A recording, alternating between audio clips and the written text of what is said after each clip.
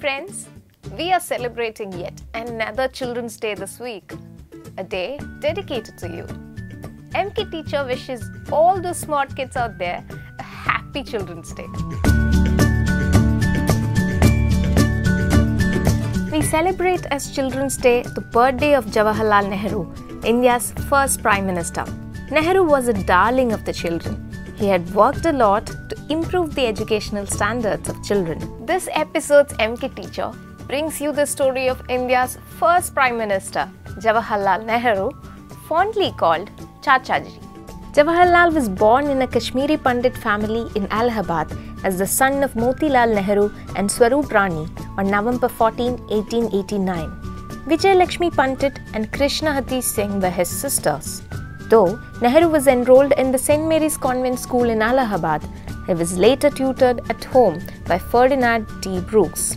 The Irish teacher led Nehru to the world of books and scientific temper. Nehru left India for England for higher studies in 1905.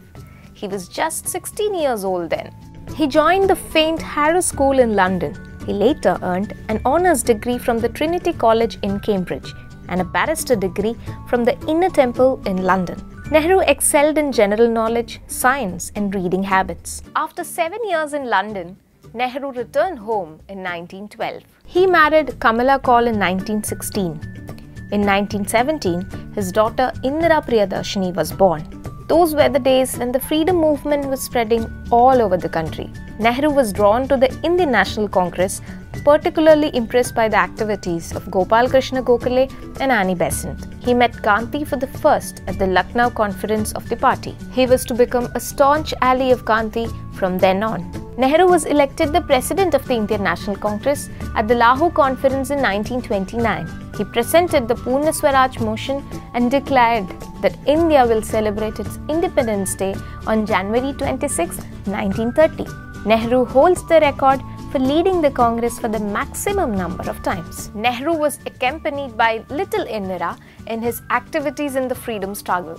Indira, who would go on to become Prime Minister, cut her teeth in politics by forming a children's association to help out her father. As promised, Nehru hoisted the Indian tricolour by the River Ravi on January 26, 1930. The freedom movement entered a decisive phase. He worked by the side of Gandhi in the civil disobedience movement and the Quit India movement. He spent nine years in prison up to 1945. The popular movement forced the British to leave India to Indians.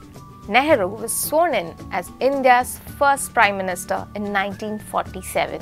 His Tryst of Destiny speech in Parliament's Darbar Hall at the stroke of midnight on 14th August 1947 went on to become one of the most memorable speeches in world history. Long years ago, we made a tryst with destiny, and now the time comes when we shall redeem our pledge, not wholly or in full measure, but very substantially. At the stroke of the midnight hour, when the world sleeps, India will awake to life and freedom. The Congress came to power with a brute majority in independent India's first general election in 1952.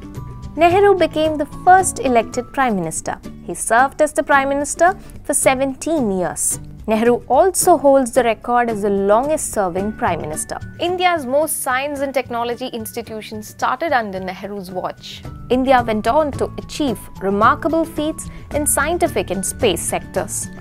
Nehru's contributions were equally great in arts and literature.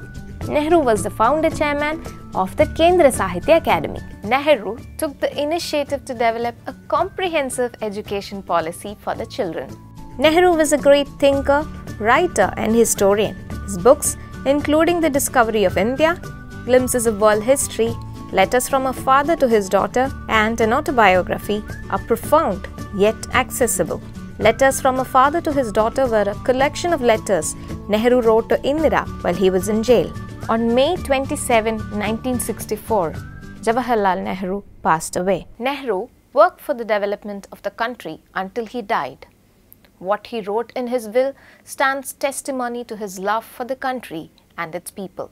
A small handful of these ashes should be thrown into the Ganga, and the major portion of them carried high up into the air in an airplane and scattered from that height over the fields where the peasants of India toil, so that they might mingle with the dust and soil of India and become an indistinguishable part of India. That was Chachaji's inspiring life. Let his life story inspire you to grow up into smart adults. We wish you Happy Children's Day once again. Bye for now.